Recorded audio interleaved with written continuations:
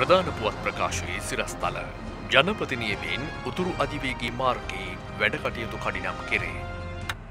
මේ පුංචි රටට මොන හයිවේද බෝරු වැඩ අනේ පුතේ ඉක්මනින් යන් තාතට අමාරුයි.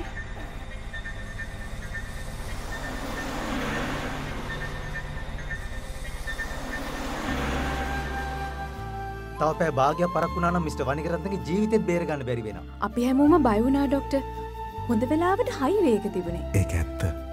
යායට පේදෙන මේ සියලු සංවර්ධන මෙයුම් ඔබේ යහපත වෙනුවෙන්මයි රට වෙනුවෙන් හිතන්න. මුළු රටටම මහින්ද.